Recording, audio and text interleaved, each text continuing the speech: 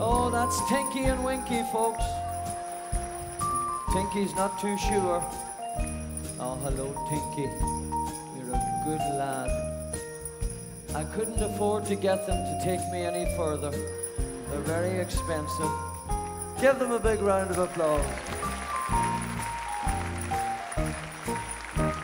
Oh, lovely.